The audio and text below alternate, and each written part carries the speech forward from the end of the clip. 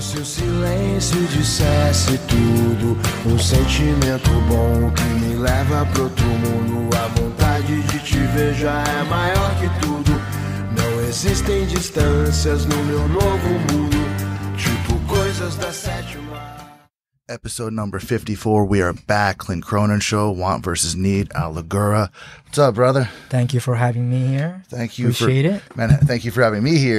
right? this is a secret spot over here. Um, we're at the Want versus Need headquarters. We're kind of in the, the back room. We got uh, some collection stuff, some stuff behind me that I'm kind of deliberately here. You can't see, but it may or may not be coming soon. I don't know. Right? It's just uh gotta be like, you can't see all this. Yeah, it's uh I mean some of my stuff is here, but a lot of these are samples and you know, I collect shoes here and there, but I'm trying to stop it because I spend way too much money on that. But Yep. you know, we have a different focus now is try to fund want versus need. So uh no more shoes for the rest of the year, I hope. Yeah, yeah, I said that, um, man, a couple years ago. I was I was spending like too much money on Jordans, and uh, then eventually Boosts, and then show you roll gis and just skis in general. And I wound up with a closet full of Jordans and a closet full of gis, and um, I only have one back and I only have two feet on me. So I'm trying to go a little bit more minimalist lately. I unloaded a big, you know, part of my collection, all the sneakers and stuff, and uh, just trying to be a little bit more practical. But sometimes I see some stuff that when I was a kid, a lot of like I always really like the retro Jordans. Mm-hmm. So I see the the ones and the threes, and I'm, I just it, it's difficult if it's like an, it's an original the OG pairs. You know. Oh yeah, I mean, you know, most of the time we have this something called FOMO, fear of missing out. Like Yeah, yeah. every time we see something, this is like we gotta have it, we gotta have it, and we always have to. Sometimes, you know, when I was younger, I would like, you know what, I could eat later, but these Jordans, I will never get it ever again. Oh yeah. So Man, we used to have to be careful back in the day. You would you'd go to like Philadelphia, you'd go to New York or something, and you'd be wearing whatever you had at the time. I mean, if it was the pumps or something, remember the Shaq pumps? yes, yes, yeah, So you'd be you'd be walking down the street, and uh, if anybody, if a stranger ever asked you, "Hey, what size are those?" I like it's like you're about to get jacked. It's Yeah. like now it's time to move. You're about to put those shoes to good use. Yeah. you're gonna scuff them. you know, So, but the right answer would be it's my size. Uh, the right the right the right move was to keep moving fast. There's no like once you stop to respond, you're probably getting jacked. So you don't want to get jacked. Yeah, I mean, in my early teens, uh, I loved Jordans, but we couldn't afford them. My mom could not buy them for me, so either I have only one, or I would just wear like Chuck, something like super cheap, twenty nine ninety nine. You know, but as I got a job later on, uh, you know, 16, 17, then I was able to afford them here and there. Oh yeah. So for me, um, my dad was a really big Celtics fan, a big Larry Bird fan, and so that meant he, of course, is not a Magic Johnson or a Michael Jordan fan. And because of this, that I just wasn't happening. I just was not going to have Jordans in that house. In So- house. and that, that was just it. So as I got older, I, I- you know, I always wanted the ones. I always wanted the different threes because at the time, um, the older kids had them on the bus and everybody was tripping on them. It was, you saw the commercials on TV and then eventually, you know, the Space Jam movie and the 11s, which uh, we were talking about earlier. I like 11s, but they just don't look right on me for some reason. Like, It's bulky. yeah, they're they're like these big moon boot things, and a lot of people love them, and uh, people die over Christmas on them. You know, for them. You know, the when they go on sale, at, you know, the Breds or the the Concords. There's been Oh yeah, multiple times where people get killed. You know, because they're waiting outside of these stores on Christmas Eve or whatever day it is. And the people that you know, the, the FOMO, their fear of missing out, turns Yeah. into violence, and people die over sneakers. yeah. It's it's a little nuts, but you know, luckily I haven't had that, you know, kind of stuff happening to me because either I get them super early or you know I get them from friends, but never had to line up or anything like that, which is which is a good thing. Like I said, when I was younger, we could never afford them. You know, like I had an older sister that would kind of help me buy shoes, but it was either Fila or oh, you know Oh, yeah, yeah. something else. Then I would just like all right, I'll take whatever I can. But like I said, you know, as soon as like I got my own, you know, job, I was able to afford like my own Jordans. But like they were still expensive back then.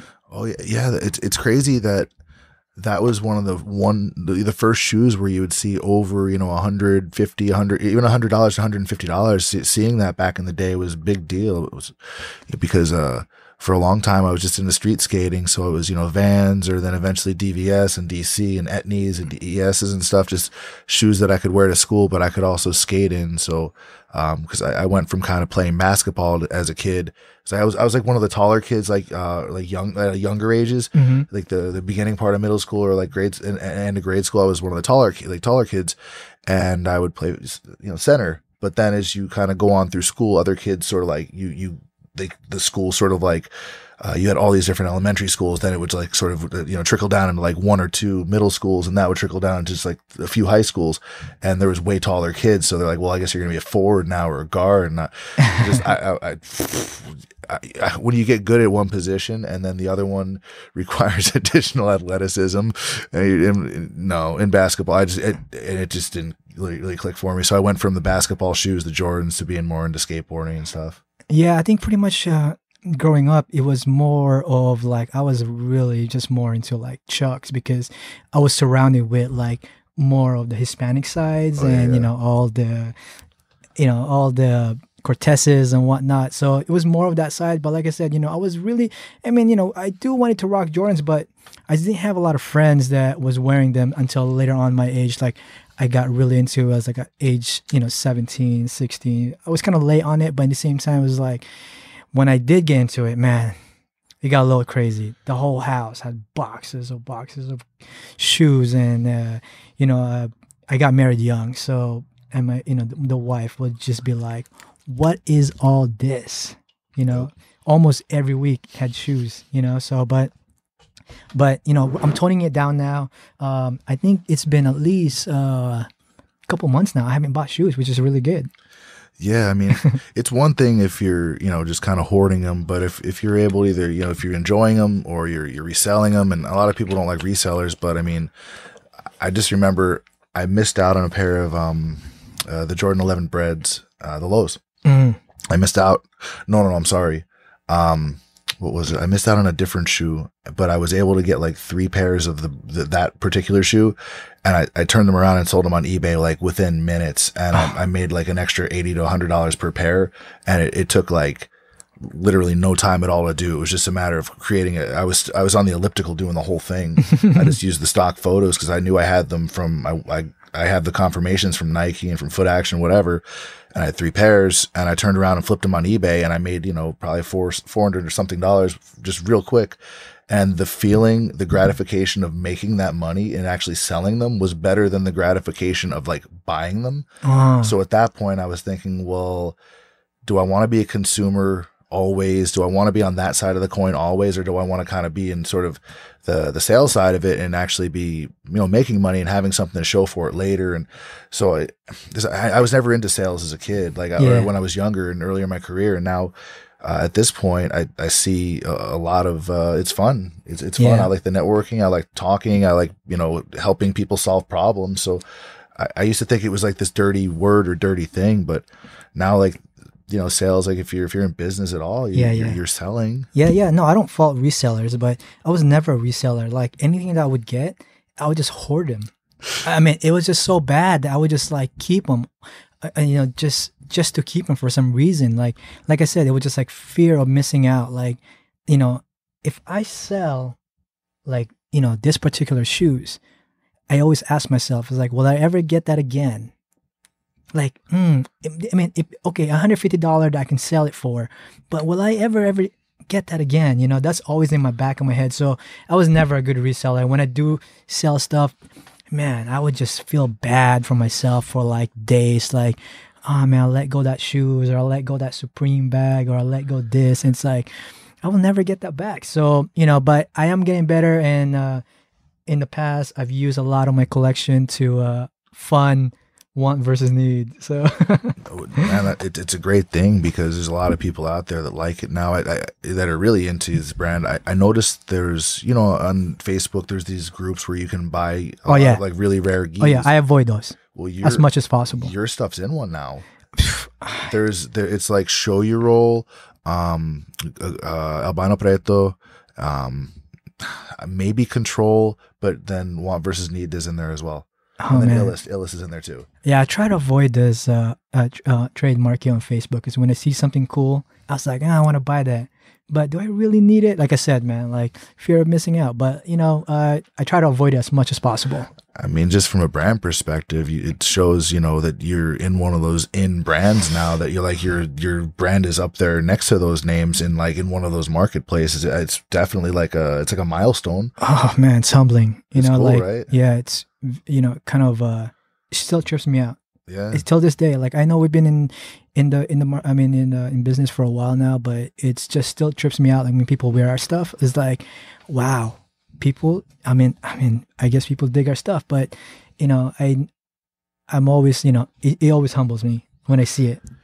Well, it it it, should. That's that's that's the right that's the right uh, you know thing to feel. It's it's a great experience, man. You've like you built something from an idea and it manifested into that there's uh, there's a whole office. There's all kinds of gear. There's a following. There's people watching right now the live stream. I'm not sure how many, but um, it, it's great and it's um just to have recognition. I know just, you know, having people email me and like contact me about stuff, you know, just related to my podcast. It's, this is just me rattling on about jujitsu and literally how it's made my life better. Yeah, So- I mean, it's crazy. Like, uh, it's what you learn by accident. Like, you don't really know what will happen with that. Like, you know, I was when I started, I was just like shooting videos for my friends. Uh, that wasn't getting a lot of uh media attention because at the end of the day, it's like when we do something, it's like we want to see ourselves. Like, so I was, you know, I learned by mistake by like just shooting videos by my friends, and then that kind of grew into. uh you know, oh, uh, a media brand at the moment at the time, and then next thing you know, it's like, whoa, one versus me, this is cool. Like you guys, you guys do really sick highlights, and I'll still be like, well, it's just my friends, and it grew into like, oh, what if we make some stickers? Oh, cool. Here, we just give it out, like whatnot. Like you know, like I said, we have, we still have no. I mean, we have an idea now, but at the time, we still have no idea what we wanted what versus it was. But it's just learning by accident, and it's the greatest thing because that thing that you learn could turn into a passion, and that can that passion can turn into your career, which is you know pretty trippy. But you know, you just have to just do stuff, and you never know. Yeah, it's it's uh, like Gary Vaynerchuk or Gary V. Everybody is is blown up. This just this dude from Jersey that had a you know a, a website about wine tasting, right? He's a different animal, by the way. Oh man, He's a different animal. but his hustle and just his charisma, his energy, and his just sort of he the things he talks about are just so practical and seem so obvious until Yeah. you apply his level of energy to it. And his he, he's just got balls of steel, man. He goes for it every single time, you know. It, and he's been able to basically build an like exactly build an empire Yeah. from what started as one of the early YouTube channels or just YouTube shows or videos about just wine tasting. Yeah, I mean, you know, not everyone is the same. Not everyone's built for it, but something so practical, practical and easy. But when you start applying that almost every single day and you don't see a result, it's it's tiring, you know. But you just gotta keep on going and keep going and just don't stop, you know. Like we've seen better days here in want versus need, and some days we just be really down. But one thing that uh you know is to have focus and just keep on digging because you never know until you get there, you know. But you just you just just can't stop. But Gary is a different animal. Like the, the things that he says is very easy and practical, but man, that's every single day hustle. Like how how much can you do this every single day? Well, he'll even talk about simple things like you probably have like five thousand dollars, and not you because you have kind of crazy collections of Jordans and stuff. But the average person out there has got five grand worth of stuff just sitting around, and if you just put it on eBay, you would be able to cash out and be able to you know take that extra money and do something with it, and invest in yourself, invest in your projects, and I I think just this the idea of doing that it's people think about it like oh I have to list all this stuff I have to do this I have to do that but they're willing to put all this time into playing Madden or they're willing to play all the, put all this time into playing Halo or I don't even know what the video Oh yeah, is. oh yeah. so if you're wi- willing to spend your time that way eh, that's fine but his main thing is if Don't complain. don't complain Don't complain. If you are sitting at home, you know, I mean, some people just wants a regular job, which is a, which is great. Which is I have no fault that you know some people wants to do, you know, wants crazy stuff happening in their life, and that's okay. But you know, if you're just sitting around and not doing much, you can't really say you can't complain. You know, you can't be like, oh, nothing's going on, nothing is happening to my life. When you're just sitting around and not manifesting of what you want to do with your life. So A lot of it starts with just writing it down and um, you know going from there. I use Evernote, and I'm, I'm probably one of the I write everything. One of like the the jujitsu people that that talks about the stupid app. I, they should probably sponsor the show. But it's it's like notes for your iPhone, but you can tag your notes and add pictures and videos, and you can dictate stuff to it. And I, I think I have like two or three thousand. What is it called? notes. Evernote. Evernote. Mm. It, there's an app for iPhone, iPad, the com- for Mac, Windows, and then there's a website version of it. So, and if you have any kind of notes, you can put like tags in them, like what they are, and have multiple notebooks. You can access it from anywhere. You know, it's it's secure. You can collaborate on notes and stuff. Um, it it just works really well for me because I'll have an idea, and you know, they say get really creative first thing in the morning or like really close to bed.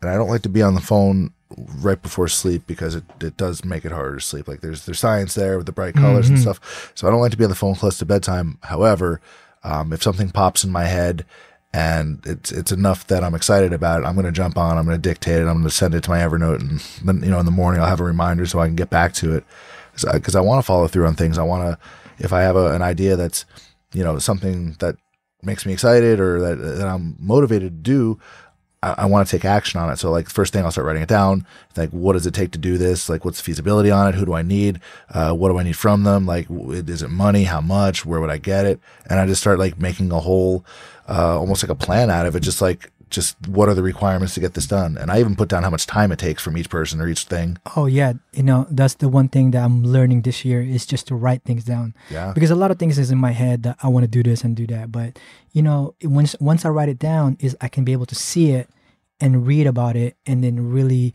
have uh, you know what's the process.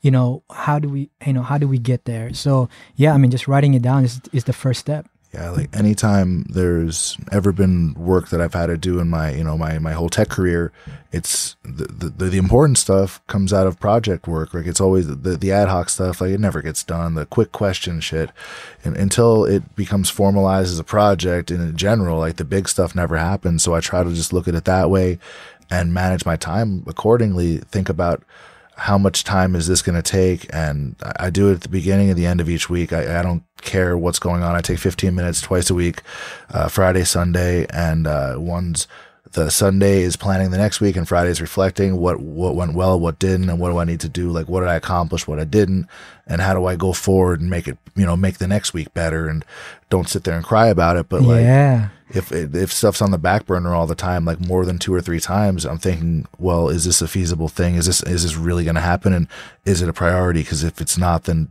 take it off the list. You know, be be willing to pivot. Be you know, I, I read a really good book recently uh, by the guys from the, they developed that Ruby on Rails language and a couple other software like CRM tools. I forget the name, but it's called Rework, and it's uh basically just just some practical business advice for like now as opposed to a, a lot of stuff you learn in MBA is like about the the size of the company and all this stuff like you can be small and deliberately small and Oh. I mean, I mean, I mean, we look at it now from five years ago, or even like you know, a couple of years ago, right? In regards to uh, making, doing your own business or making your own business or whatever. I mean, now anybody can can make products. Anybody. I mean, you know, just by the touch of the you know the internet, uh, you can just look up things up, and then and then you can just anybody can make any products now. So, which is like the greatest thing ever. So Yeah, I mean, from just tangible goods to just information type stuff. There's so many out, so many people out there with so much information that just doing an ebook or an online course or selling just uh, some kind of service online, it, it's it's really easy to do. And getting a website online and all this stuff, it's ridiculously easy now. You can just jump in Shopify and then boom. There's Yeah. there's big businesses out there that are using Shopify. They're paying an arm and a leg to do so. Um, once you start getting like to this level of success where you're selling enough product to really like quit your job and oh, yeah, yeah, yeah. you shouldn't be using Shopify anymore. Like you wind up paying quite a bit. But Yeah, I mean, five years ago, just an example is like making a rash guard. It was so difficult. Yep. In making a gis, it was so difficult. I mean, you can make any rash guard and gis nowadays, but some of them, some, I mean, most of them are like uh, not really good. But it's easy because now people like if you somewhat just being in the industry or a brand like you have people hitting you up now before you had to find this man- this factories or manufacturer and whatnot now it's like man i get on my social media as i get hit up like hey Oh, i'm yeah. a bjj manufacturer and Oh, you can make Pakistan and all, yeah i mean the time. but i'm saying like now it's there it's easier. Now you just have to f- you know figure out your own um, and you know do your diligence of uh, you know uh, you know research and whatnot. But it's a lot easier nowadays. But in the same time it's like even though it's easier it's like how do you put it out? So you, now you gotta like really work in getting out there. And you just can't stop if you're trying to do something you know Oh yeah, for sure. It's it's about diligence and uh, just the passion behind it, and a lot of it is sort of what you mentioned earlier, recognizing the difference between sort of a hobby and a career, or like is is or a hobby and a product. So I don't think a lot of people do. Um, and it's it's okay, it's fine. Like a lot of things that we're really passionate about, like they are hobbies, but then all of a sudden, as you mentioned, you start looking at like, okay, well, here's this thing I'm really passionate about. It's the videos and stuff, and then okay, now here's a logo. They like the logo, so it's stickers. But all of a sudden, it's like, well, they really like our style and our you know our way of doing things, and now it's you know it's gear, it's it's t-shirts, it's it's uh you know it's it's bags, it's gis, it's all kinds of stuff. It's it's a whole you know subculture of Yeah. the the sort of jujitsu uh, movement, or you know, it's it's cool. It's and it, it's nice that the uh, that the sport or the art, depending on who and what you believe, Yeah. uh, is opened up to allow opportunity for that. I mean, you know, it's just one of those things you just have to surround yourself to. Like people, you know, like I'm a byproduct of my surrounding most of the time. You know, like who you surrounded with is sometimes that is that's what you do in life. So you got to be careful who you surround with sometimes. But luckily, I have good friends that are have good heads with them. You know, like so like an example, like you know, I got into jiu-jitsu and now we started to make gis and whatnot. But like, just to give you an example, like, who you surrounded with, sometimes it's what you become. Oh, so you have to be careful who you're around sometimes. So I think it's like so you're a videographer, right? It's like rule of thirds. I think yeah, well, I'm yeah, yeah, kind of yeah. So I, I I think that keeping your friends from back in the day, family and stuff, regardless of you know how they're doing, what they're doing, you don't forget where you came from. But then you want to be around people that are around your same level, like at in terms of like career and like just socially. And this it sounds like a dick thing to break things down in thirds like this, but honestly, and then that other third, you want people that are better better than you, that are further along than you, that have already done these things. Because what happens is if you hang around with just your your homies from back in the day, or like people that are just around your same I have a perfect example for that.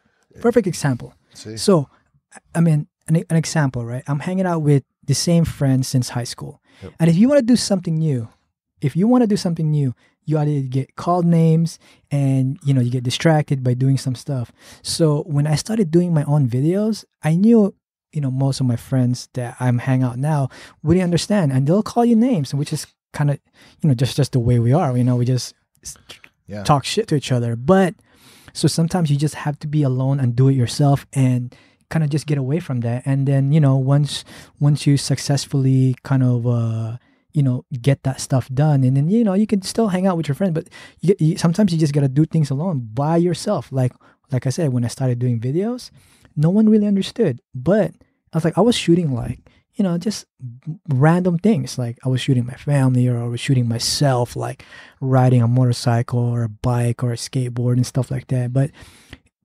sometimes people don't understand what you're trying to do. So you just have to be alone to do things just so you can learn some new stuff you know Oh, totally. I mean, just by being around people that they've either not, they don't have that level of ambition to go and start their own business it's difficult or to take a hobby that that seriously, you'll get a lot of the heckling. You'll get a lot of, and what they do is it's it's fear of the unknown. Most people they want the the nine to five because it's it's safe and it's comfortable and stuff, and that's what the generation before them said to do. Because get get a good job, you you put money into your retirement and then you'll be fine and social security and whatever but yeah that's great and it is safe and that's cool for a lot of people but um by surrounding yourself with people that are like at your same level if that's all you do, you just talk about, yeah, one day we're gonna, one day we're gonna, and Mhm. like, but nobody ever does. No. You just it's talk. But so having like those mentor types in your life, people that have already done it, it goes from being like this man, this mountain of a thing to to be successful in a business or to be successful at releasing a product or whatever it is. Once you're around people that have already succeeded in business, either finan- you know, financially, whatever, uh, that have done it, it's like no, no, no. It's just you do one, two, three, four. Very simple. It's just it's a formula now.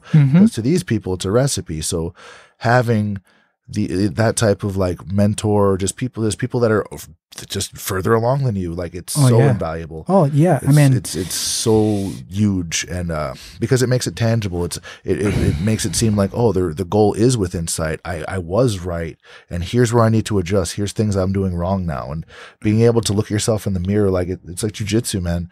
Um, if you aren't upfront with yourself about you know where you are, I mean, it'll just nature takes its course, and you're just going to get mowed over anyway yeah.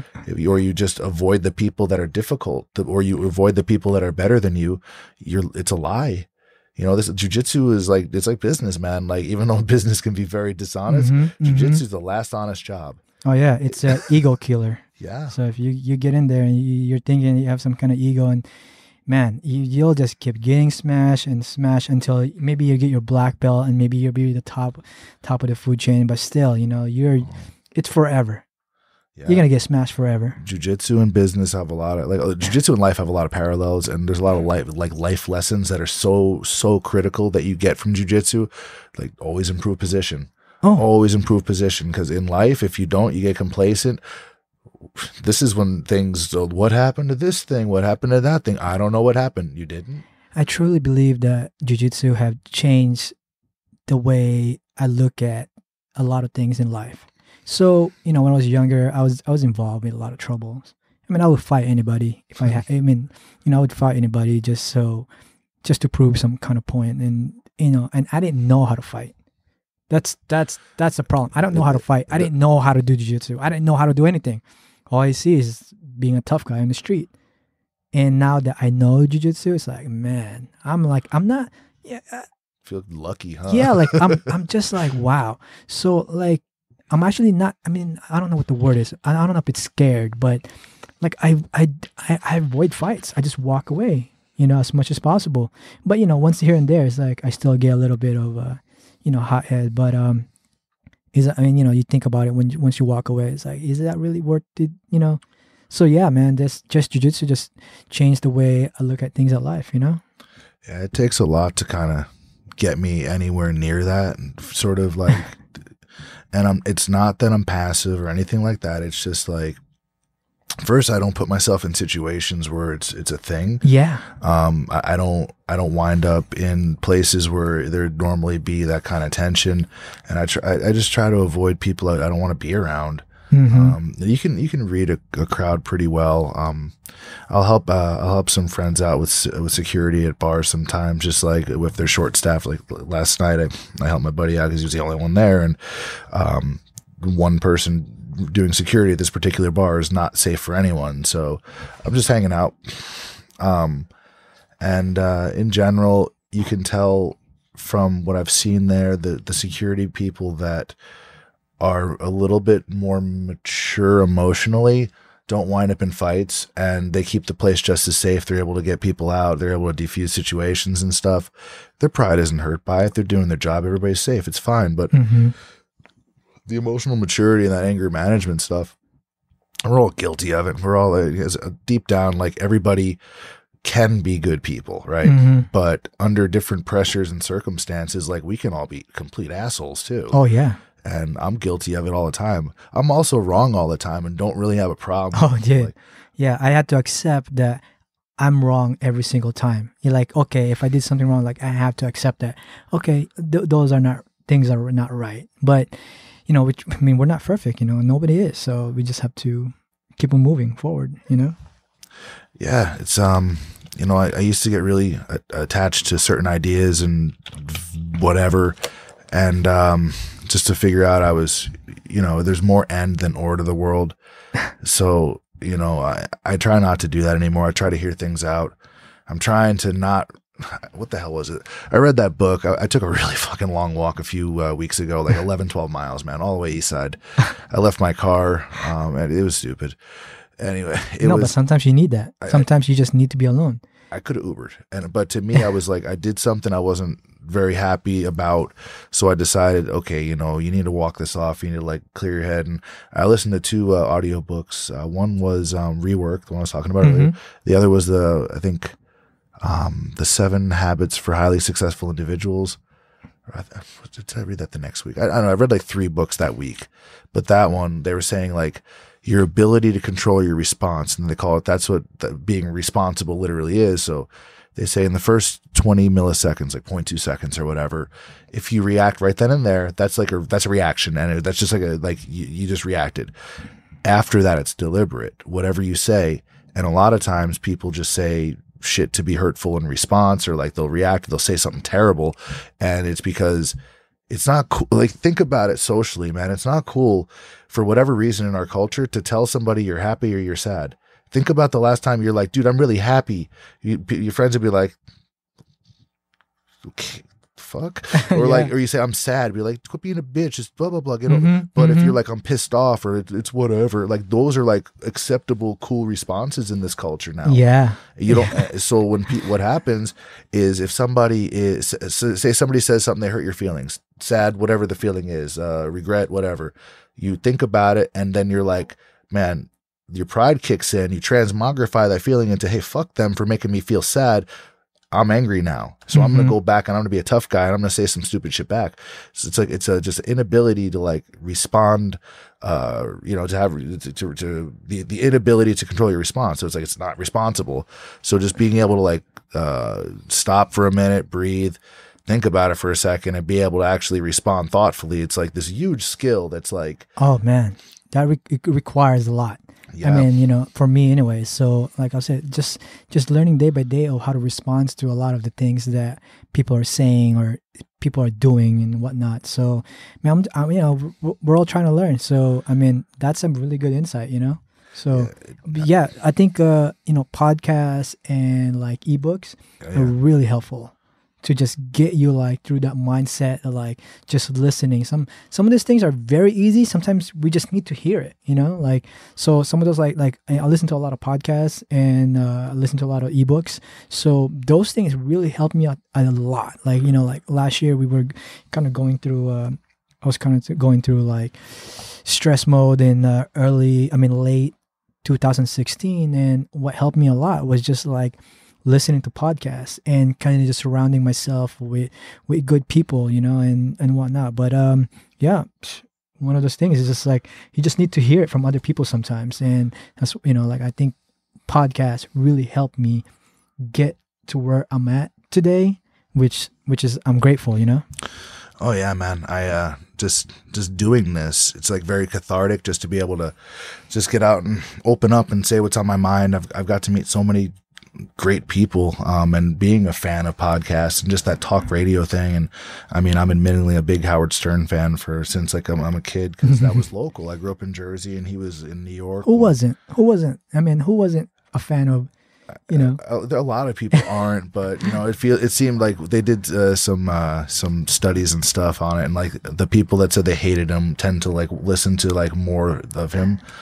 It's it's that's kind of how the hate thing works, I guess. But man, I don't know. You saw him in America's Got Talent. Like he's obviously not what people said he was about this sexist, this or whatever. Like he donates so much money to North Shore Animal League. He like loves animals. He like does all this charity stuff, and he has the best interviews period. I mean, Joe Rogan and a lot of these guys, Tim Ferriss, they do great jobs. Like they're they're they're the top of the food chain in podcasting. But um, Howard Stern, even though he's older, much older than the rest of these guys, he's he just knocks it out of the park. His ability to connect with people and have a personal mm-hmm. dialogue where they're going to open up and like, I didn't care about Lady Gaga at all. And then he had Lady Gaga on his show, and I'm like, this she's just a girl from Brooklyn Yeah. she and she was cool it, and she had a, it was a really great interview and so i'm i'm not out there buying all her you know downloads and shit but That that's what I call learning by accident. yeah You know, like things that you just listen to something or do something and you just learn by accident by you never know like, oh, you know, you might dislike a person, which is a really strong word, you know, dislike. Uh, but until you start hearing what they have to say and do and things, like, whoa, they're actually a great person. You know, you uh, like uh, uh, the one of the podcasts that I listen to is uh, his name is Drama from um, From Rob and Big. yeah. Oh, cool. So I mean, from my perspective of him at the show, he's a goofball. It was he's he because he has the character of a tool. Because Yes. he was big brothered by Rob on the show. so Yes. you- So yeah, from what I've you know seen, he was a goofball from the show, and I was like, man, I'm not gonna listen to this guy. Like, so he had a podcast, and in my opinion, his podcast is the one that struck me the most out of all the podcasts I've been listening to. I mean, I listen to NPR, listen. I mean, I listen to a lot of podcasts, but it was it was him because he he he admitted that he was not good but he was doing it just to start, just to learn something new. It's like finding that passion of learning. So, and he had some guests on there that, like, you know, that really impact the way I think as a brand owner or even a creative guy. I like it, it just blew my mind. So there's a lot, there's a really a lot of good stuff in there, but going into it, but it, it, I'm, I'm I'm trying to say is like it's like just learning by accident by just just stopping and just listen, you know, without having to give, you know, some kind of uh, uh, feedback already without hearing it, you know? Yeah, just some people only listen to other people talk just long enough for them to stop talking so they can get their shit in. They're not really listening. Yeah. So, you know, like you said, you know, you, you learn a lot on accident.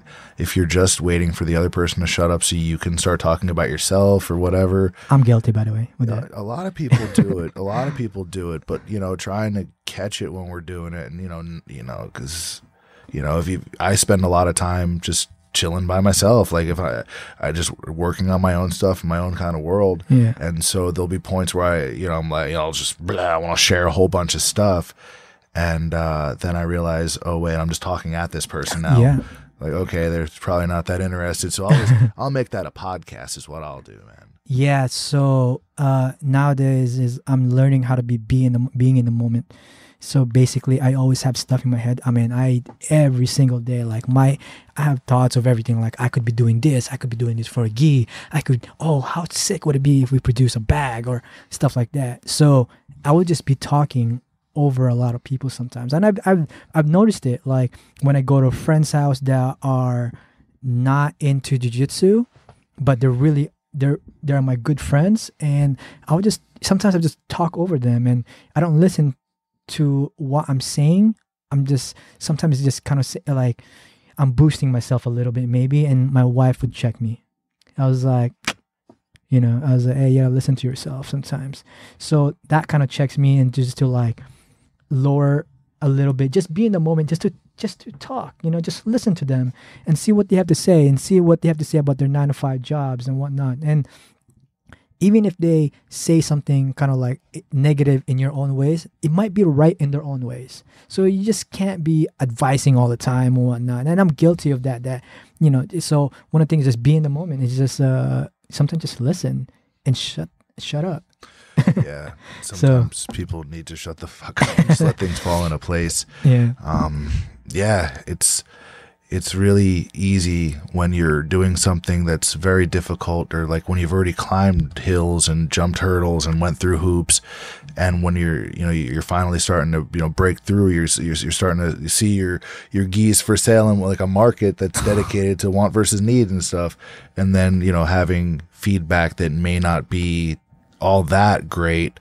or like if it's friends are going to be critical that like back in the day friends are critical like receiving feedback constructive or otherwise it's it can be challenging to be patient with it and be like ah dude you don't know what you're talking about. Yeah. But it just you know trying to process it and take it the right way and not you know nobody likes to be big time you know Yeah, yeah. So, yeah, one of the things that we I do here at Want versus Need, Want versus Need is I have three steps to do things when I do a product.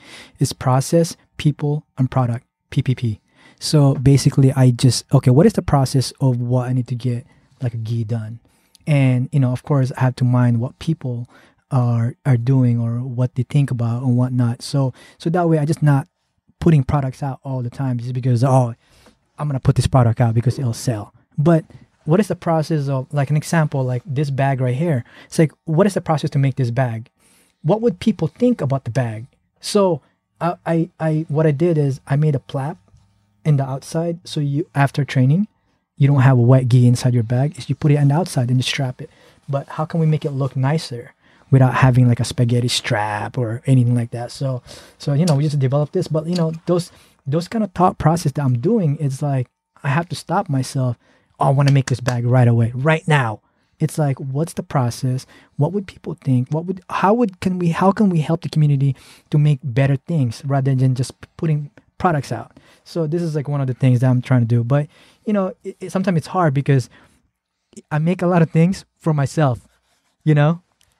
So Does this have a? So it, I I see a skateboard deck in there. Could that be a place for a laptop too? yeah no yeah you can put two laptops there's there's one there's one on the side right here uh, oh i'm sorry yeah there's a pocket for the laptop on the side right here and there's another one and there's a bunch of pockets inside well, so You gotta let me know when production one's available because I need a backpack. I, I broke my. oh yeah yeah we just we just got we, we got them all in so Perfect. i'll make sure to uh when you leave one when you leave here you'll get one Beautiful. yeah Yeah, I I keep buying these um oh j- just Under Armour ones. Oh, hold on. Breaking. just just in case someone's listening this is not available for public by the way sorry uh, this is um this was only made for the the membership that we've done earlier this year. Oh wow. so uh yeah it's all going to them so i apologize. But if- is there is there a waiting list for next year's membership yet? uh yeah there is now. So we're starting to i think maybe in november we'll start opening it again and see how it goes. But you know we're we're trying not to go way too big from what we can control. So we always try to limit it as much as possible because you know there's only there's only two of us here right now you know I hear you, man. For for for this brand, man, I would do so many in person things because it's like like it's just it's a it's a very Bay Area thing. you know what I mean? Like there's and there's so much jujitsu. There's so many events. There's so many like talented people. I can count what two world champions like right on the same block. yeah So yeah, it's uh I mean LA is sort of the mecca right now when it comes to talent, but the Bay has always been like just had its roots so deep in like martial arts and you know uh, you know from from back in the day the the karate day you know Ernie Reyes all the way up to you know now we have like Caio Terra so it's uh Yeah, we have great. I mean, we have great jiu-jitsu here in the Bay Area. You know, we got you know Mike Prudential from One World, uh, my professor Gumby, uh, Dave Camarillo, uh, uh, Matt Darcy, and uh, Caio Terra just down the street. You know, I'm Christina always speaking there. Yeah, you know. So yeah, I mean, it's it's great that Bay Area is really picking up. Oh yeah, I mean everywhere you look. I mean East Bay, there's a lot of great talent. Um, you go up to Stockton, obviously the Diaz brothers are up there. You go up to Sacramento, you got Team Alpha Male. You got Elliot Kelly, he's a monster. Yeah, At uh, I think he's super ultra heavyweight. he like he had a weekend where he just beat everybody. I mean, he beat um, what's his name, uh, Vinny Magalhaes in uh, at the San Jose International Open. Oh wow, Yeah, wow, yeah. that's big. Yeah, he, That's that, big. that was after he won his fight to win pro match. He won gi the first day and then no gi the second day. So three days in a row, he won like gold, gold, gold, gold, gold. Jesus. Yeah, the, the guy and he, he's a super nice guy. Uh, great wrestler. He's uh he's one of Yamaso's guys, uh, Torgrosa. Mm-hmm. Yeah, Yeah, yeah, his his guys. Um, never met him, but he seems nice. yeah, uh, Yamaso's he's a badass too. Like Yeah. he's like he's way stronger than he looks. Yeah. So the guy, like you know, uh, Paul from Open Mat in Las Vegas, uh, he supports him a lot. So whoever he supports, I usually think like, oh yeah, they're nice people, because Paul is like the nicest guy ever. So, yeah. So you're from San Jose originally, huh? Or No, I was born in the Philippines. really? Yeah, came here was uh I was about seven, eight years old. Yeah. What's the uh, what's the current consensus on the new president over there? Like he's been kind of he's been kind of outspoken. yeah, I don't have an opinion about it. I try to stick to what I do here. So, but I I do hear some crazy stuff. I mean, I don't particularly like I, I mean, especially when I go on Facebook, I I see it, but I don't click on it.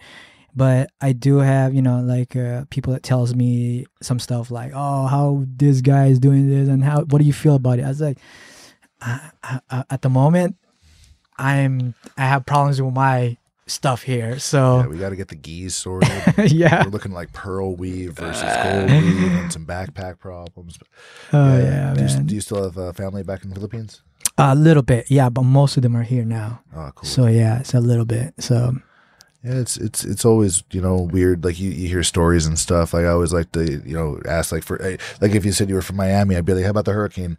You know what I'm saying? Like Yeah. because it's it's you know it's the it's the big news right now. When you when you hear the Philippines, you hear about the the president. He's you know he's you know making the you know, big statement about the drug thing and the if you're outside of the Philippines, you're American now and all this stuff. The- the- oh, I, didn't I didn't know he, that. he basically said like um and this is paraphrasing and i'm probably wrong and that's fine if i am um but for the filipinos that are like if they're in the ones in china that like break drug laws or whatever they're on their own we're not going to help like they're not going to we're not going to try to bring them back and the ones that are in the united states they're like they're americans now like they're not Oh my god. yeah, like it was just really bold stuff, and I, I, there's the the penalties now for drug offenses, selling or whatever is like I'm I'm strict. still Filipino. Yeah, I was gonna say.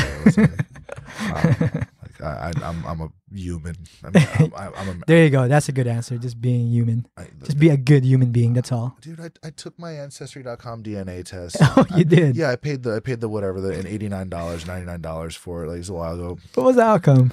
It, it it wasn't what I thought it was. It was Oh. it was all kinds of crap. Oh, I thought I was just Irish and German because I only knew my dad's uh, ethnicity because my mom's adopted. hmm And then I looked at it and I'm like, I'm everything. The the most I am of anything is just under 20% of Irish. And Oh, then there's wow. a little bit, tiny bit of German. I'm more French than German. Um, I have stuff like uh, Eastern European. I have some Scandinavian stuff. I was like some percent, like just under 10% like of African stuff, like Moroccan and shit uh huh. and I'm looking in the mirror. But the only thing, I mean, may- maybe like my body shape or whatever, I, I, I guess. But if you look at me in the winter, I'm real pale. In the summer, like I can tan, like I don't get that burnt. But it doesn't make any sense. Uh, but it's apparently true um, because it's DNA.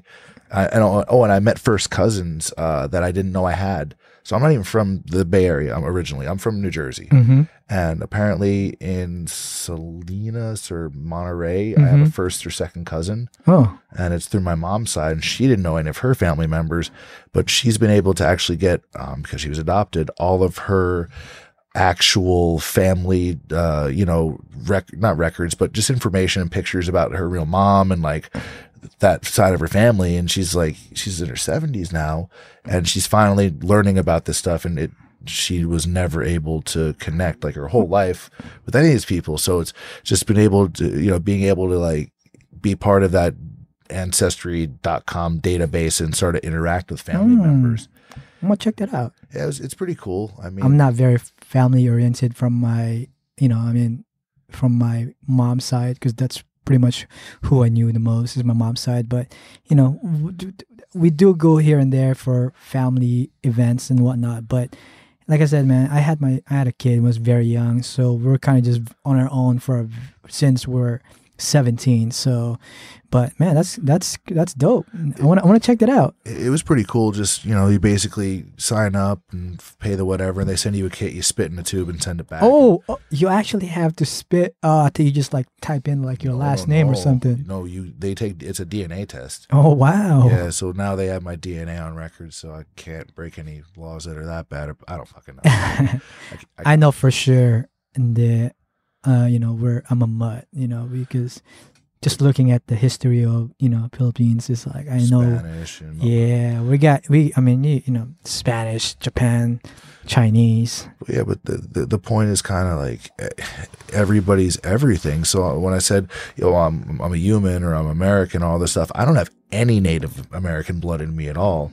But if you were to sort of, you know, ask, you know, 10 random people out of like which one of these people is American and you would point at me, like I'm th- I was born here, but that's like I just that I woke up here as a baby. That, mm. That's all that's all it is. It's it doesn't it doesn't mean anything else. It's like you make these borders and you divide people a certain way and you decide that okay these people get a lot and these people get nothing Yeah, and, but there's no real difference between any of these people at all There's no difference physically, uh, genetically, or any other way between any person, but we make these just divisive sort of constructs that separate people just for the sake of separating people. Yeah, I try to stay away. I mean, especially posting about politics and whatnot. But you know, I do see some things like, oh, you know, these guys are from there, so you know, this shouldn't be allowed here. Like, I was like, man, it doesn't really matter where they're from. They're still, they're just, you know, just because they are there, they're still people. You know, like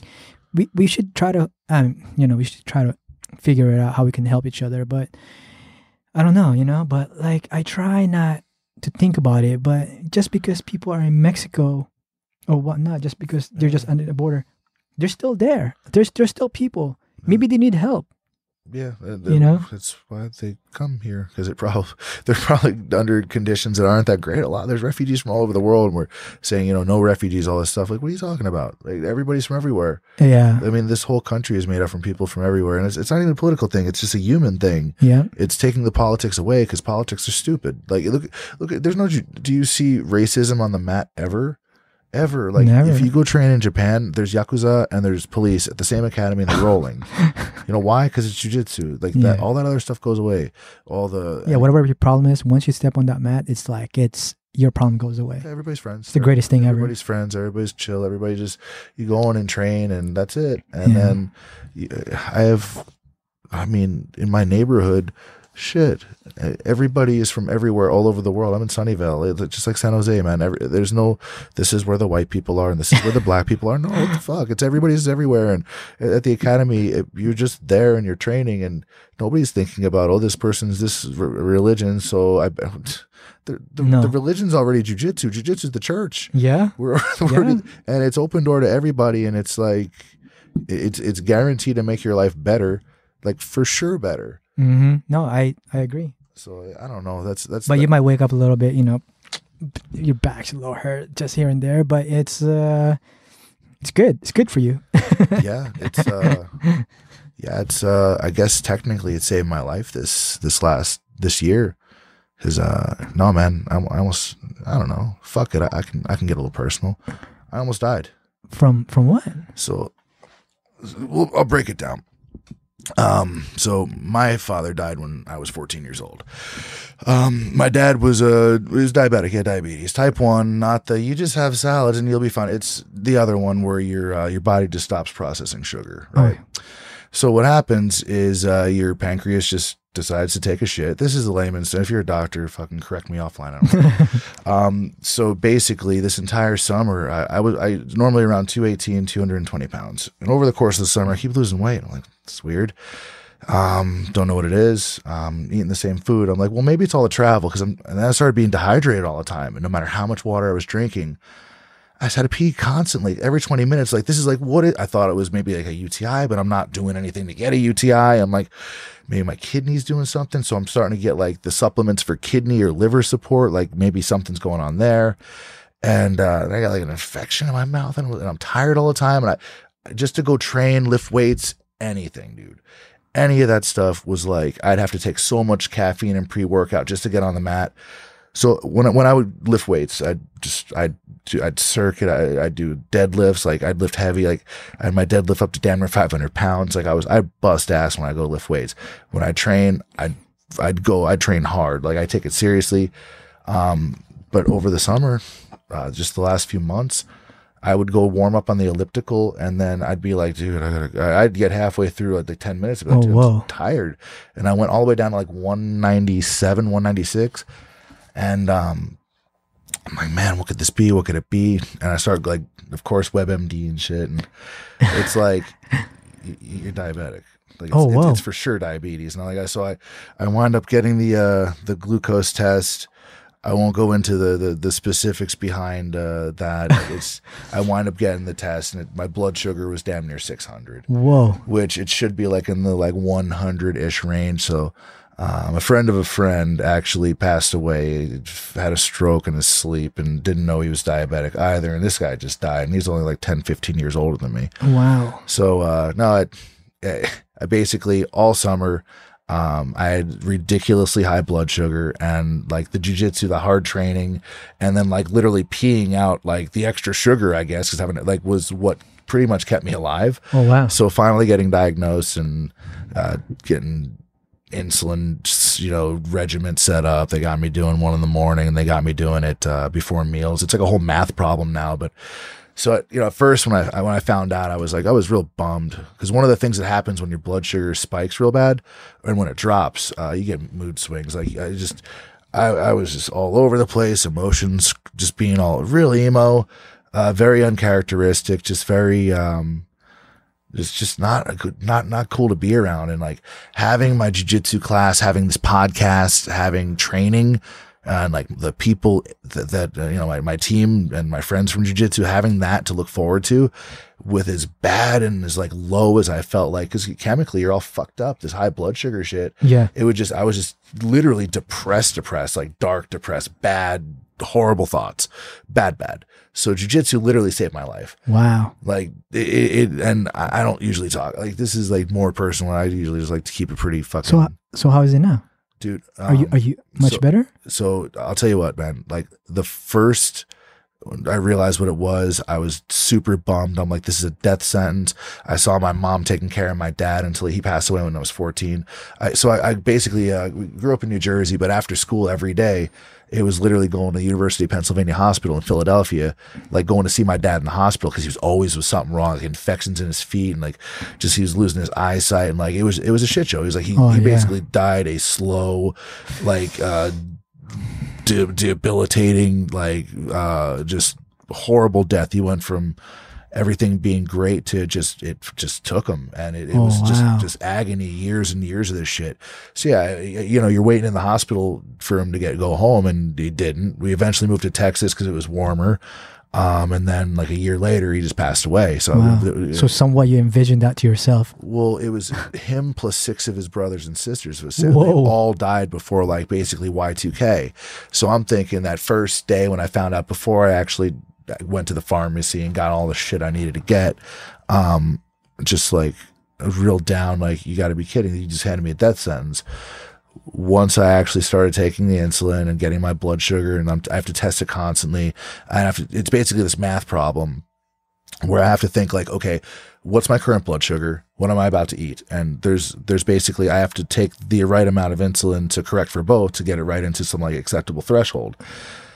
If you get that right with diet and everything, um, which is what I've been working on and what I've I think I'm doing a pretty good job at, I have energy again. I feel fucking great. I feel strong. Like I've already put weight back on. I'm kicking ass. It's good to hear, man. Yeah, I just I can't have sugar. I can't have a bunch of carb food.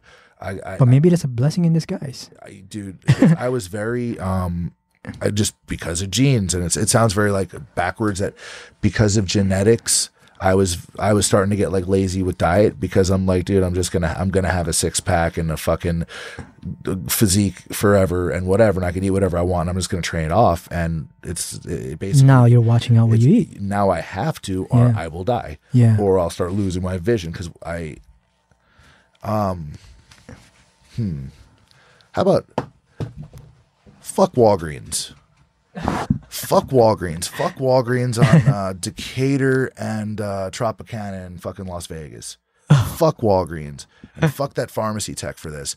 Um, I was, I, I was no seriously. This sucks. Uh, I was driving. Um, I, I drove to see my mother uh, because I just wanted to be with family. I just this sucks, and uh, I, I got to. So she lives outside of Las Vegas, about an hour outside of Las Vegas in uh, Nye County in Pahrump, and uh, I realized I was out of syringes because you have to inject yourself with you know insulin. So it's it's part of it. It sucks. Fucking get tired of sticking myself with needles.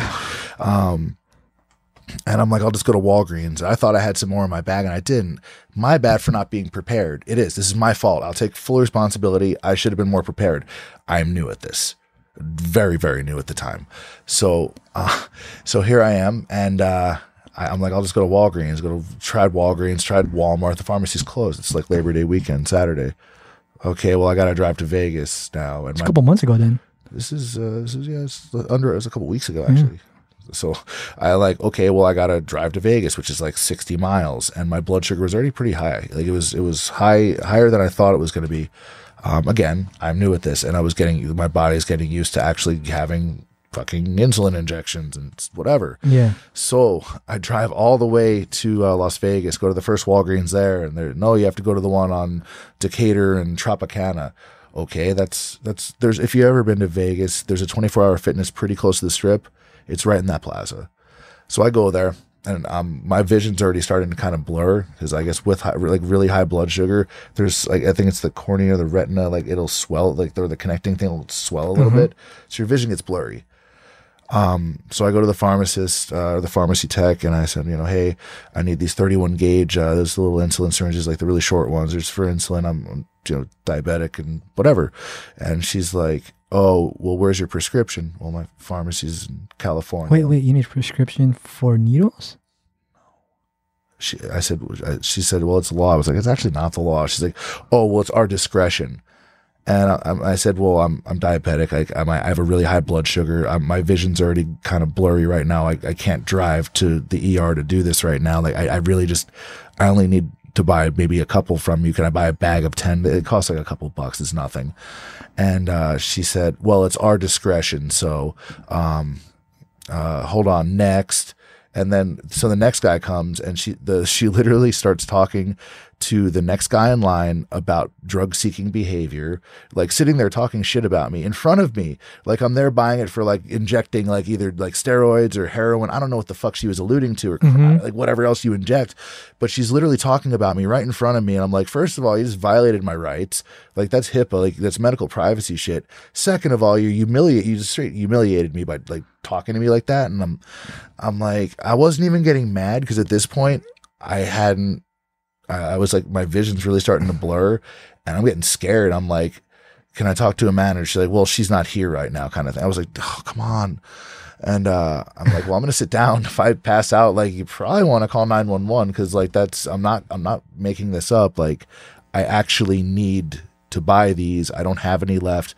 I have my insulin in the car. I have the test thing, and she's just like, just kind of blowing me off, not even responding at this point. I'm not being angry. I'm not being rude to this person. I am legitimately scared, like actually scared to the point of like. So I I'm, I just go to leave, and I go to get in my car to try to go to a different pharmacy. At this point, I'm like, dude, just super embarrassed. Like I feel like humiliated. Yeah. Very just like what just happened in there. Like I didn't get it, and then I'm like the realization set in that I got to move my ass now, but I can't see shit. Oh wow. Just imagine. Holy do you wear glasses or contacts? no, I don't. Thankful. Yeah, but uh, yeah, just imagine Like, My wife does, and she can't see anything at night. well, that's what it turns into, and I'm like, there's, and it was traffic. It's Saturday night in Vegas. There's no way. So I saw, uh, um, this the passenger seat of my car. I had my insulin and the machine, uh, the little thing like where you test your blood sugar. It's a glucometer, I think. And I pushed power on it, and I was like, oh shit! Like it stores the last couple tests, and I'm like, so I just brought all that back in there. And by then, uh, a different lady was in the front. I guess this is the actual pharmacist as, as opposed to like the assistant. And I said, Hey, I was just in here a second ago and I've, uh, my, my blood, I'm diabetic. My blood sugar is very high. Um, and I, I, I need to buy, uh, syringes. I, I'm, I'm from out of state. I'm from California. I don't have a prescription here. It's at my pharmacy there, you know, back home. It's Saturday night. And she just told me I can't buy them. My blood sugar is, and I showed it to her, and it was like almost 500, dude. It's like Whoa. this is bad, bad, bad. Like I, it's just, it, that's where it was. Um, it, it isn't now. Like I manage it. It's fine. This is at, this is when I first got diagnosed. It was just fucking all over the place. It's bad. and You're uh, new to it. dude, I was I was really new, and I just drove a long damn way, and I expected to be able to be, you know, be able to take my shit. Yeah. And uh, she's like, "Oh my god, I'm so sorry." She's like, she looks back at the lady and just like shakes her head at her, like, "What the, f- you know, what the fuck did you just do?" She opens a box of uh, syringes and just like gives me a bag. She's like, "No charge, no charge." I'm like, "No, I'm not homeless. I'm not broke. I just don't want to be treated like." A, like a like a Disabled. yeah like like no like a like a like a like a thief or like a drug addict or something Oh, that's like she literally treated me like I was like some person going in there like trying to be like buying can't look like you're doing meth. Yes, like, like, and uh, I'm like, my eyes are like watered up at this point because Oh, I'm like, wow. I'm scared, and I'm like, that you just embarrassed the shit out of me Yeah. to the point where like they're like literally the next the customer and this lady are talking shit about me in front of me. In front of me in a fucking store when I'm like literally at my most vulnerable I possibly could be. So like like I just said very clearly, fuck Walgreens for that. Oh wow. Um and just you know, what? I, I wasn't gonna say shit about it. I, I wasn't. I wasn't make a big deal about it. But that's how they treat people. Like, think of all the bullshit in pharmacies, man. All the drugs they put out, all the fucking painkillers, all the fucking Viagra. They put out all this Viagra and they put out heart pills, but they don't tell a single motherfucker to go lose weight. If you need Viagra, something's wrong with your heart. Your your blood is not being pumped from your heart to your dick. You don't need Viagra. You need a fucking new diet and a priest but I can't fucking do something that's gonna save my life. So fuck Walgreens and fuck that lady for trying to fucking act like I'm some kind of drug addict Oh, you're the God. fucking drug dealer. Oh my god. There, there's my there, there's me, there's me being I, uh, personal and sounding off. Fuck Walgreens. I have no words for it. There, But that, that was it- fucking live. So Okay. good. But but but lucky now that you're it seems like you're you're feeling better. I feel fucking great. I feel t- like ten years younger, but oh, like Oh, wow. old man strong. Old man jiu-jitsu strength. Exactly, man. I, I ain't even that old. Gotta watch out for those guys. Hey, you know, I'm, I'm, I want to, I want to get back by U.S. Open. I, I think like my weight will normalize by then because like you, once I went from being shitty blood sugar, almost dead, to like actually now I'm eating right. Now I'm fucking taking the shots when I'm supposed to. The weight came back quick, and I'm It's just somewhat blessing in disguise. yeah. Now I can like hyper focus on it and always make sure I'm within threshold because that means I'm processing food as efficiently as possible. Wow. So it's like, in terms of a blessing, it's like, yeah, it's, it, it is. And now I know to, to look closer at things and to, to only get food from the, uh, the perimeter instead of the, cause if you look at every grocery store, the, the inside of the grocery store, like the middle part's all processed bullshit, except sriracha. I love sriracha. That's in there though. but on the outside was the fruits and vegetables and the meat and stuff. And if you're a vegetarian, I'm sorry. I, I already can't have sugar. I'm still going to eat meat though. like I need, I need some joy. I need Yeah, some I mean, you know, I'm guilty of just eating crap all the time. Like I'm here when I'm here super late at night and and if I feel lazy or just don't want to wait for the restaurant to cook me any food, whatnot, it's like I just run to McDonald's. I, But you know, I, I used to get Sometimes- away with it. yeah. I thought, but no, I didn't. I didn't. And I I think what triggered it, I hate this word triggered.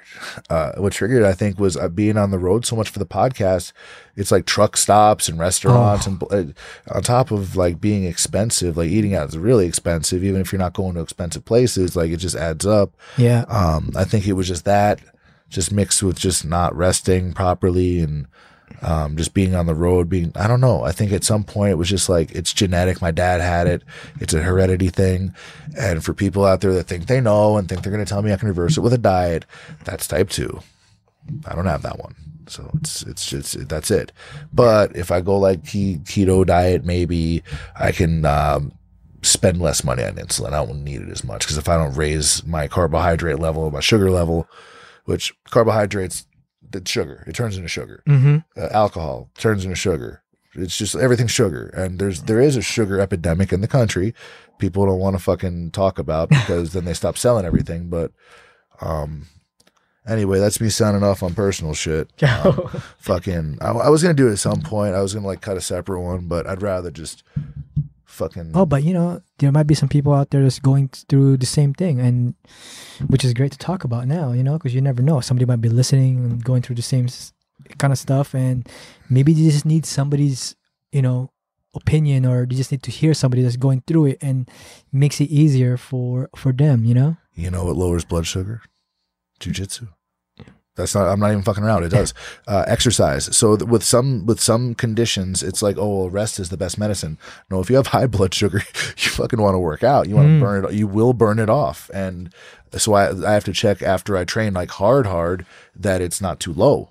Oh, So you know what I'm saying? It's it's like a, it's a constant sort of math problem the whole time. But yes, jujitsu saved my life, and not just it say it got me out of the streets or whatever. No, it got me out of dying because if I wasn't training, because I wasn't gonna miss training. My my my love, my passion for jujitsu is so deep that even like getting out of bed to go to the bathroom was like, oh no, like just lethargic. So I was I was getting the what what's it called the uh the no ex, not no explode uh C4 like pre workouts. Oh, yeah. I never would take that shit pre jujitsu, but that would be just like okay, let's do this, or like a caffeine thing or That thing makes me go nuts. that that thing woke me up enough to floor roll because that's how like they, that's how like near fucking you know the six feet under I was with this Wow. shit, and I went all summer undiagnosed. I had no idea what was wrong. I was just peeing every ten seconds. I was like, "What are you? You got the like a little girl bladder?" It's like, "Yeah, shut up, whatever." And I didn't know. And went to doctors. They're like, "Uh." It's like going to go get your oil changed, uh, and or like your your engine checked at the mechanic, and they're like everything looks fine, but it's a transmission problem, or it's like the rear, uh, or it's like the rear differential. Yeah. It's like that's not their expertise. They're not going to know. Yeah. That's right. So you're just like, oh, here's your fucking just drink cranberry juice and fuck off kind of thing. Well, no. um, that's the opposite because there's there's a ton of sugar in there and it made it worse. Oh yeah. I think there's. I mean, I mean, it's so hard to pinpoint a food out there that doesn't have any kind of sugar. Oh, dude, I know. I know, and I like sugar, uh, and like I love carbs. So it's trying to find foods that don't Yeah. suck. And I'm not Especially you're Asian, like rice, everything. Oh yeah, uh, my uh, one of my friends, uh, former training partner, training partner Aki, uh, he found out he was uh, like he went and did this full panel to figure out you know uh, his allergens and things that he was allergic to, and it turned out he was allergic to the beer and rice both, and he's Japanese. It's like, oh. dude, it's like you don't even want to know at that point. Taki It's- from Gorilla. Huh? Taki from Gorilla. uh, Aki Yoshikawa. Oh, okay, no. Uh, he was he was like the stud wrestler at uh, Fremont High School. He's like a legend at Fremont High. oh wow. He's uh he's, he's not the biggest guy, but like he's a he, he was a badass. He had he had to stop because some injuries at uh, I think blue belt, but yeah, he was he was a savage. He, uh, he was he was really high level judoka. He was like really high level wrestler, and then he got into jiu-jitsu. But uh, yeah, he went to uh you know he get his uh he was he was just getting sick or something. I don't remember the full story, but yeah, it turned out he's a Japanese guy allergic to to rice and beer. I was like, oh, that sucks. Oh wow. Yeah, I don't know. Fucking yeah, that's that's that's my update, man. What's uh what's new on the horizon? What's what's coming up for Want versus Need?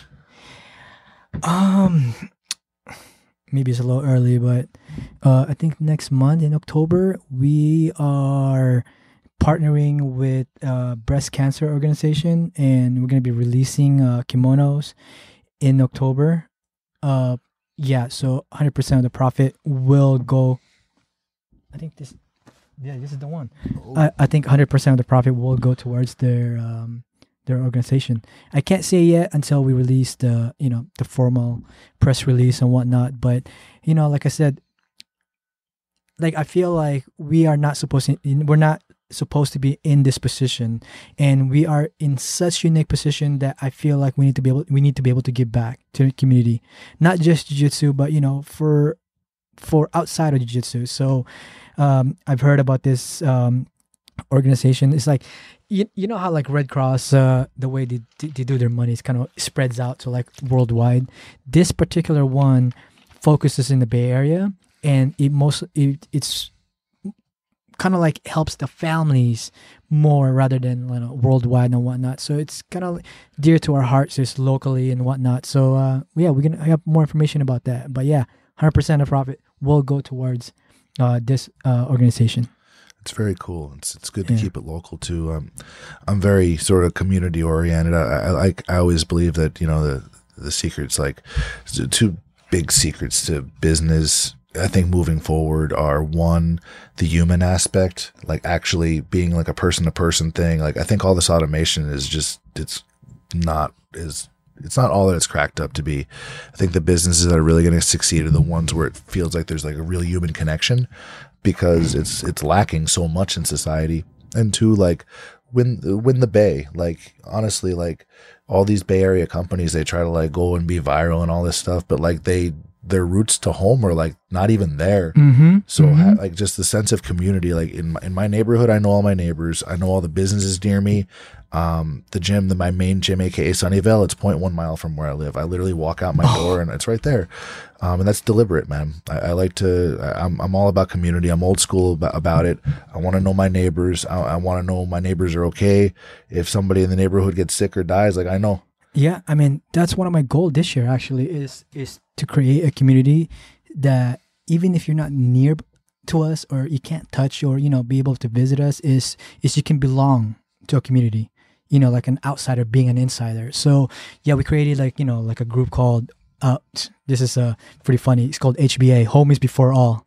But yeah so basically my my my, my term on that in regards to that is like no matter what happens is like always support your friends first homies before all because you know like whatever you're going through or whatever your friends is going through you, you, you gotta make sure you support them as much as possible. So yeah we're trying to create that community within jiu-jitsu and in hope that we can kind of uh, get that bigger you know? And we, we always ask ourselves especially here in Want versus Needs, it's like what can we do for others all the time. I always have to think about that. Like what can we do for others? Because like i said you know where i'm from where i came from what i've done in my life is like we're not sup- I, I feel like i feel like i'm not supposed to be in this position. So when i when i feel grateful about it it's like i had to ask myself almost every day it's like what can we do for others as much as possible? Because you know like we're grateful and we're thankful that we're here and uh you know we are we're able to uh you know move mer- uh, merchandise and whatnot. But you know t-shirt and kimonos are just merch.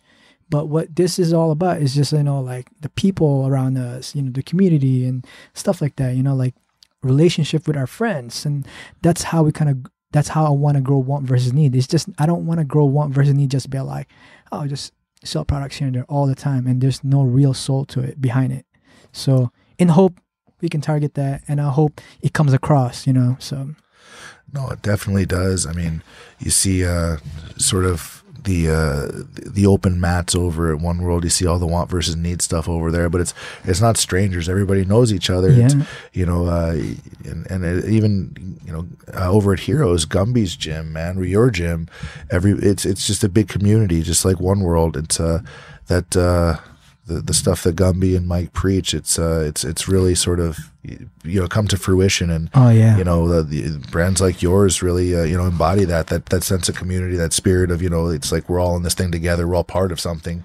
Yeah. So that that feeling of belonging I, I think it's like lacking with a lot of people. So i think it really calls to the the people in the jiu-jitsu community that are looking for more than just you know merch you said like more than just swag or whatever. Yeah and then that's the thing like I'm, i think i'm surrounded by great people. I'm like i said i'm a byproduct of my surroundings. Like you know gumby has have have always taken the time to talk to me in regards to some ideas and what he's trying to do. And he's like probably the perfect example as a jiu-jitsu coach you know like he's willing to help you with jiu- with your jiu-jitsu but also willing to help you outside of your life whatever you need. He's he always got our back so which is you know one of the greatest thing that you know to be able to train under him. And just super thankful that uh he he he lets me and kind of helps me like provide any feedback that he can as much as possible Oh yeah, man. Well, Gumby held it down during sort of the dark days of jiu-jitsu. He was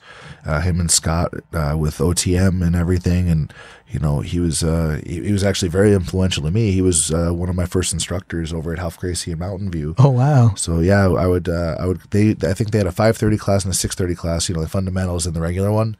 So I would show up to fundamentals, and there'd be a couple times where it would just be me or me and one other person, then Gumby and Batata. So it was basically a you know a free private with Gumby. Yeah. And that was uh that was you know very very important you know just in, in terms of my own games development. Just he's always been like very thoughtful and uh, well spoken he's just a his style of teaching uh, you know resonated really well. It, it, I was able to connect to it because you know it's he's kind of a tech guy too like Yeah. he, was, he, has, he has that background as well so I mean I I, I, I, I like to ask why but I generally don't ask you know I, I won't do that out loud but in the back of my head like I'm always thinking why and like he'll always explain things very deliberately and he'll make them make sense I mean, he's a great example of a good human being Oh, from yeah. on the mat and outside the mat oh yeah all the time. He always carries himself very highly in regards to, you know, doing things in life. So I, I admire Gumby a lot. oh yeah he, he's he's he's good people man he's uh he's he's a quality Also, Mike, Mike Prudential too. yeah those, those, those guys That's. I, I've I've had the, the the privilege of you know training under Mike for years now, and um, you know Gumby initially, and I'm always you know whenever there's events, I, the, you know the, the the Haiti seminar, and the, there's always pretty big events that uh, you guys host over at Heroes and stuff. So it's I'm always very happy to join.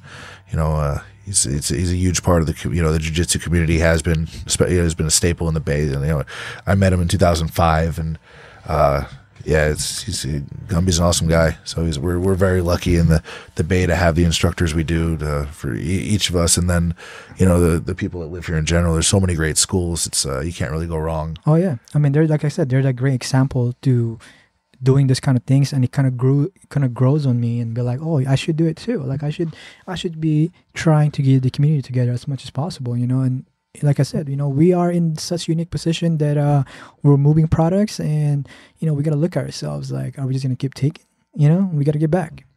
So that's one of our. That's the reason why when I heard the story when I spoke to this uh, breast cancer organization, it was like what you're trying to do. I was like, I'm in. Let's figure out what we can do. So, uh, you know, they were super stoked about it. I'm stoked about it that they're willing to work with us, and here we are. We got the sample, and uh, we're starting to produce now, and in hope that we'll get it by October. Very cool. Yeah. Yeah, I remember the. Uh, I, I have one. I have one breast cancer awareness gi. I think from a year or two ago. It's white with pink, so I rock it all the time. I like that's. I, I like the colorway. I like. I, I like how pink pops on different colors and stuff. Yeah. It looks weird because I'm not the smallest guy, and uh, you know I, I got like a pink backpack or headphones, and then like the. It, I just it, it, it stands out. I like the color, and Takes balls to wear it. there ain't nobody paying my bills but me. Yeah. Keep my eyes on my own paper. So I no, that's uh, there's one vote and what the what I how I carry myself, what I wear, what I say, what I do. And s- uh, once again, fuck Walgreens. you guys almost killed me by trying to decide that I was a drug addict. I'm not a drug addict. I needed fucking insulin syringes because I was dying. Anyway, I'm fucking around. I'm not that mad. Fuck Walgreens. anyway, man, we've been going at it for a little while. I think you got a truck to take care of. Yeah. It's, it's getting late. I gotta go remind some folks that one world open mat. That's my turf. I'm playing. I miss those guys. I gotta go roll. Uh, dude, I appreciate the hospitality. I No, appreciate thank taking you. the time to do this on such short notice. This will drop tomorrow morning, Monday. Wow, fast. The hiatus is over. The Clint Cronin show is returned, baby Yeah. and um, you you guys be good to each other. Al, thank you, brother. Thank you. I appreciate it. Want versus need. What's it? Want versus need.com. Yep, that's it. Very easy. What's your uh your your IG, your Twitter, all that stuff? Oh, it's just all want versus need handle. That's all it. Want versus yeah. need. Well, y'all need it, so make sure and get your stuff. Um, quality products, merchandise. Sorry, y'all can't get that backpack, but the breast cancer awareness stuff, you better buy it because that shit's real.